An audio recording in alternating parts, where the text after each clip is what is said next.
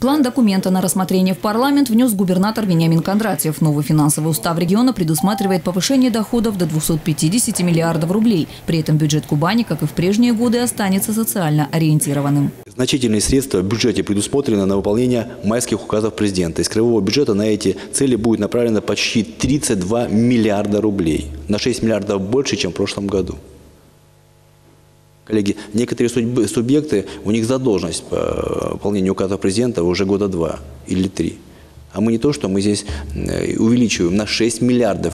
Большая часть этих средств пойдет на повышение э, в следующем году оплаты труда работников социальной сферы. Но это объективно. Это те, которые, как правило, рядом с народом, э, но сами порой живут хуже тех, которые к ним обращаются за помощью. В среднем на 18% вырастет зарплата врачей, среднего медперсонала и работников учреждений культуры. Планируется, что 70% всех расходов из краевого бюджета направят на развитие здравоохранения, образования, а также обеспечение всех социальных выплат.